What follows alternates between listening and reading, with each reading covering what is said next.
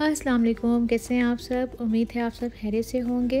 आज मैं लेके आई हूँ आपके लिए बेक्ड चिकन चीज़ स्ट्यू की रेसिपी इसको बनाने के लिए मैंने लिया है एक फुल चिकन इसको मैंने वॉश कर लिया था। अब मैंने इसमें ऐड कर दिया एक टेबल स्पून सिरका आठ से दस जवे लहसुन के और एक टेबल स्पून फुल जो है मैंने ऐड कर हूँ इसमें सॉल्ट और काली मिर्चें साबुत में इसमें ऐड कर हूँ एक टेबल स्पून और अब मैं इसमें ऐड कर दूँगी एक लीटर पानी।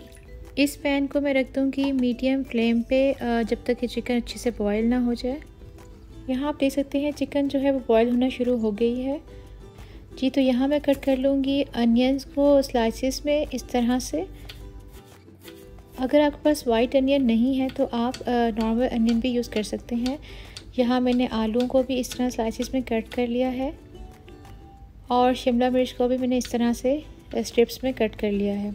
जी तो वेजिटेबल्स जो हैं वो कट हो गई हैं। अब मैं मोज़रेला और शेडर चीज़ को श्रेड कर लूँगी।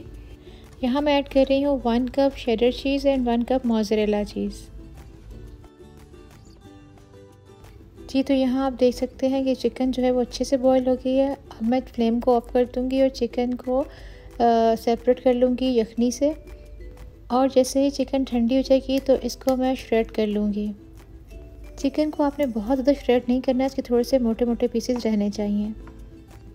जी तो यहाँ मैंने ली है बेकिंग डिश अब मैं इसमें लेयर्स लगा लूँगी चिकन चीज़ और वेजिटेबल्स की। यहाँ आप देख रहे हैं कि मैं सबसे पहले जो है पोटैटोज़ की लेयर लगा रही हूँ। आलू को आप अच्छे से फैला के डिश में सेट कर लें। अब इसके बाद मैं ऐड कर दूँगी इसके ऊपर चिकन हाफ़ चिकन को भी आप पोटैटोज़ के ऊपर अच्छे से स्प्रेड कर दें।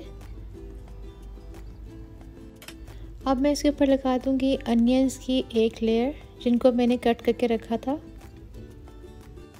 इसके बाद मैं अब इसके ऊपर लेयर लगा दूँगी शिमला मिर्च की। प्याज और शिमला मिर्च अब अपने हिसाब से कम या ज़्यादा भी ऐड कर सकते हैं। अब मैं इसके ऊपर लगा दूँगी एक थिक लेयर चीज़ की। चीज़ जो है वो जितना भी हो, इसमें बहुत मज़े का लगता है।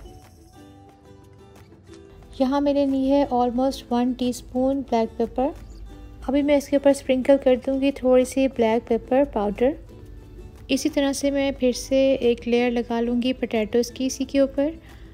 और अनियंस वाइट अनियन अक्सर स्वीट होते हैं तो अगर ये स्वीट है तो आप इसमें ऐड नहीं करिएगा तो आप नॉर्मल अनियन भी यूज़ कर सकते हैं इसके लिए। जी तो अब मैंने इसमें कैप्सिकम भी ऐड कर दी है, और अब मैं इसके ऊपर लेयर लगा दूँगी चिकन की, जो कि बाकी बची थी। चिकन की अच्छी सी लेयर लगाने के बाद मैंने चिकन स्टॉक को स्टेन कर लिया था और अब मैं एक कप चिकन स्टॉक जो है वो इसमें ऐड कर दूँगी। जी तो अब मैं इस पर लेयर लगा दूँगी मोज़रेला शेडर चीज़ की।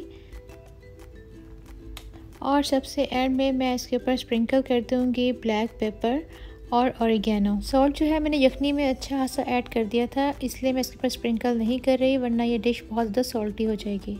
जी तो हमारी डिश जो है वो रेडी है ओवन में जाने के लिए। ओवन को मैंने 150 डिग्रीज़ पे पहले से प्री हीट कर लिया था। अब मैं इसको बेक करने के लिए रख रही हूँ तकरीबन 40 मिनट्स के लिए। और जब तक के पोटैटोज़ जो हैं वो अच्छे से कुक हो जाएँ।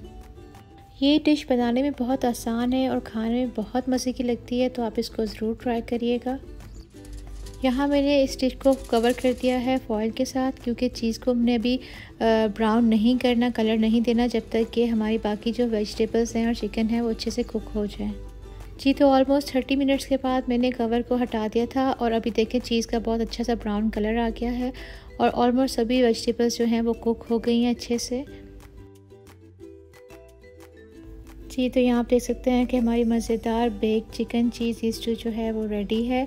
इसको आप सर्व कर सकते हैं बॉयल्ड राइस के साथ। ये खाने में बहुत लाइट होती है और टेस्ट इसका बहुत मज़े का होता है।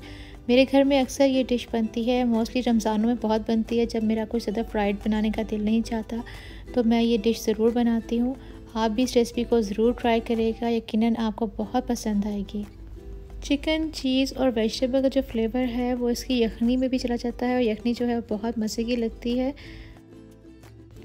अगर आपको मेरी रेसिपीज़ और वीडियोस अच्छी लगती हैं तो मेरे चैनल को सब्सक्राइब करना बेल आइकन को प्रेस करना, और मेरी वीडियोस को लाइक करना मत भूलिए। जी तो मैं मिलती हूँ आपसे किसी नेक्स्ट रेसिपी में, या फिर किसी ब्लॉग में, तब तक अपना बहुत सारा ख्याल रखिएगा। अल्लाह हाफिज़।